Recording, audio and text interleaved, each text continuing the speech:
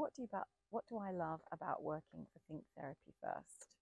Ah, what's not to love? I enjoy our the the work that we get to do is brilliant.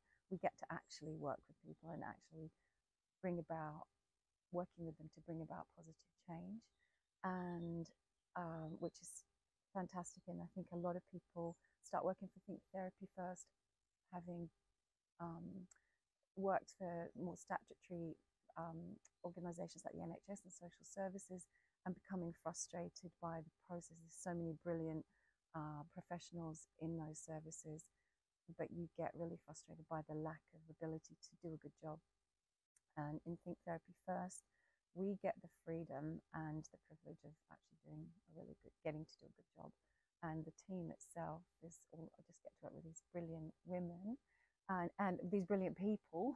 Um, a lot of them women who are so talented and clever and professional and interesting. And it just, just like being in a sports team that is really high, high achieving, it just makes you raise your game. And I feel, um.